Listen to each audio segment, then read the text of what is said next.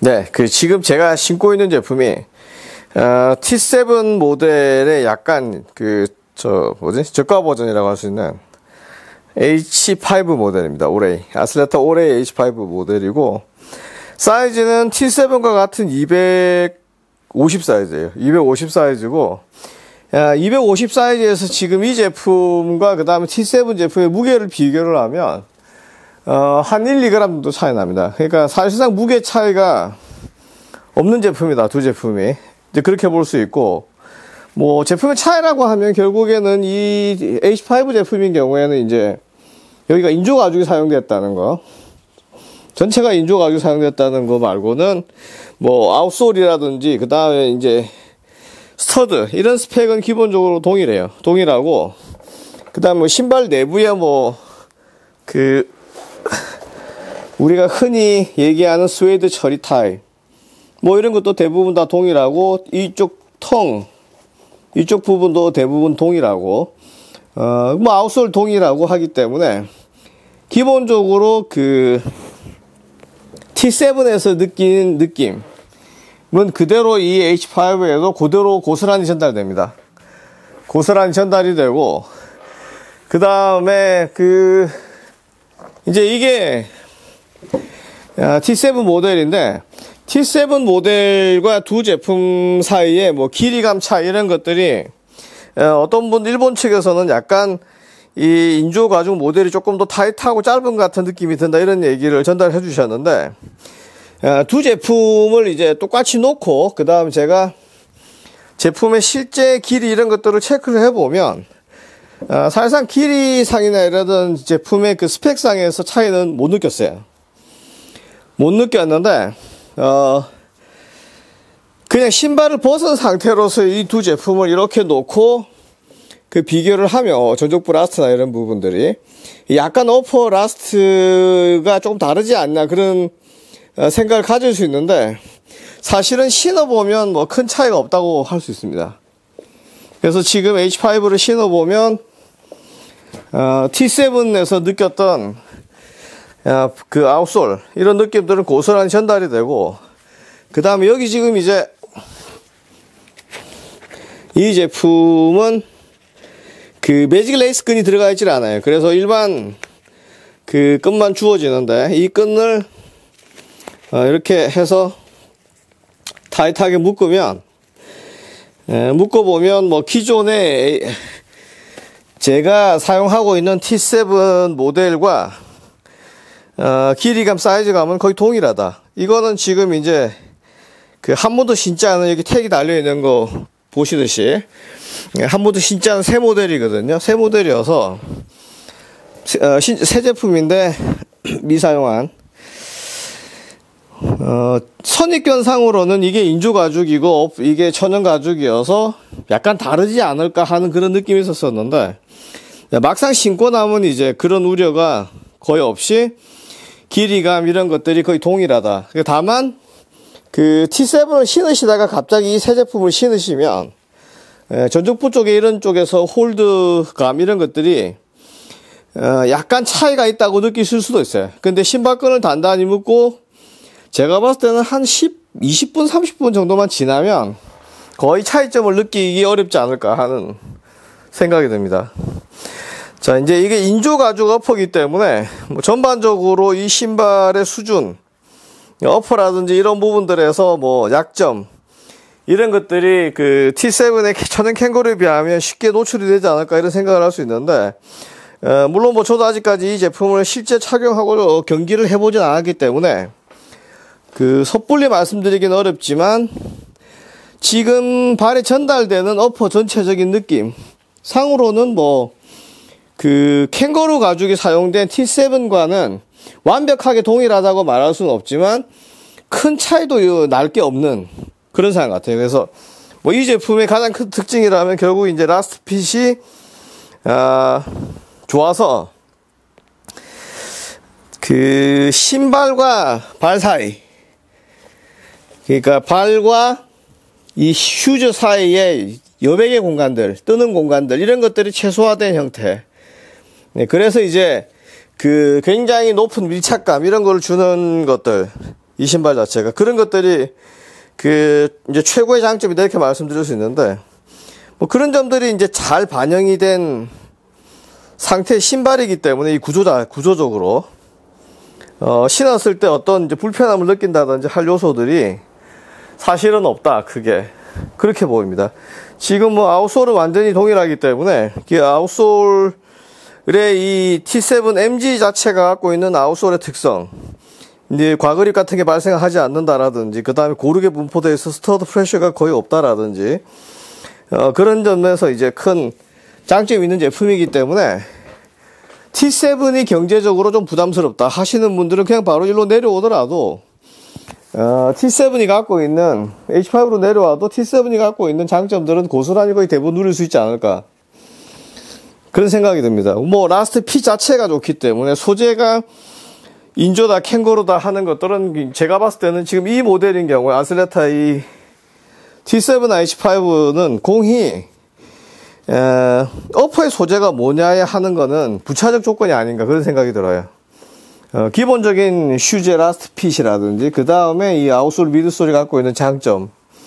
뭐 그런 것들이 이제 굉장히 잘 드러나도록 그 설계된 신발이기 때문에 그런 점들에서 높은 만족감을 줄 수 있는 신발이 아닐까 이런 생각이 들고 어, 뭐 실착 테스트를 어, 뭐 하나만 하죠 사실 이런 거 왜냐하면 이미 T7에서 이 이런 형태 제 발 족행에 딱 맞도록 맞아 떨어지는 그 감각을 갖고 있는 신발을 가지고 신고 공을 찬다고 하는 거는 여기 에 upper가 어떤 소재로 되어 있냐는 사실 크게 그 달라질 게 없기 때문에 요소상으로 뭐 그런 부분에서 굉장히 좋지 않을까 그런 생각이 듭니다. 이 힐 쪽도 예, 높게 형성되어 있지는 않지만 뭐 벗겨지거나 이럴 가능성도 거의 없고 그 다음에 힐 쪽이 또 스웨이드 타입으로 다 처리가 되어 있기 때문에 뒤꿈치를 잘 물고 있는 구조이기도 하고 그 다음에 어, 신고 운동을 해보면 이 아웃솔 이게 얼마나 장점이 있느냐 하는 거를 그 직관적으로 바로 알 수 있을 정도로 굉장히 좋은 신발이에요. 그래서 어 이제 이게 T7의 경우에는 캥거루 가죽이 돼 있기 때문에 사람들이 신발이 좋은 거 아니냐 느낌이 더 좋은 거 아니냐 이런 생각을 하실지 모르겠지만 제가 봤을 때는 캥거루 가죽도 캥거루 가죽이지만 이, 그, 그니까 이 아슬레타의 T7이나 H5의 가장 큰 좋은 점은 이 밀착감. 신발과 그 다음에 축구화 사이의 공간의 이격을 없애주는 이 미드솔과 그 다음에 이 인솔로 이어지는 부분들에 있어서의 구조, 어, 어퍼의 특성, 이런 것들 때문이 아닌가 그러니까 이 제품도 손을 넣고 이렇게 만져보면 앞쪽에서부터 미드 쪽으로 오면서 이렇게 아치를 그 받치는 형태가 다른 제품들에 비하면 도드라지거든요. 그러니까 인솔을 빼고 이렇게 만져도 T7에서도 설명드렸듯이 아치 쪽이 이렇게 그 살짝 올라와 있기 때문에 이 부분이 결국에는 신발을 우리가 이렇게 신었을 때 보통 insole에 의지해서 이렇게 아치를 잡아주는 여기 insole 있다고 하면 insole을 눌러서 이렇게 아치가 받쳐지는 형태로 대부분 끝이 나지만 이 제품은 신발 내부에 insole을 빼고 이렇게 신어보면